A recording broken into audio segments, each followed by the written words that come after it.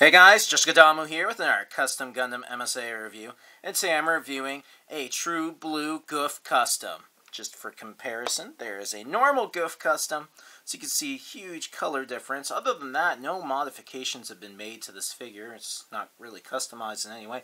It's just a new color.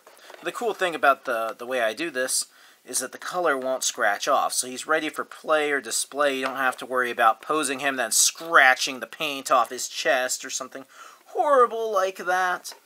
And so it matches up quite nicely with the original Gouf, which I have here. It's not quite the same blue, but it's relatively close. You see that huge difference. Comes with your standard issue armaments, and this one is for my personal collection. Yes, I finally made one that, like I'm, I often make these custom recolors, but I'll make like ace pilots or things, and or what if scenarios like Garmazavi, Z'Gok, and then I, I just don't keep them because I, I just don't feel like I need in my collection for stop motion.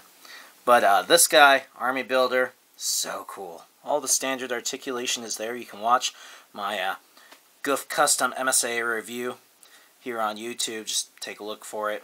Gouf Custom MSiA review if you want to know all about its articulation, stuff like that. Well, I hope you enjoyed the review. If you like custom Gundams or just Gundam MSiA action figures, or Army Man, check out our eBay store. There's a link down below in the more info area.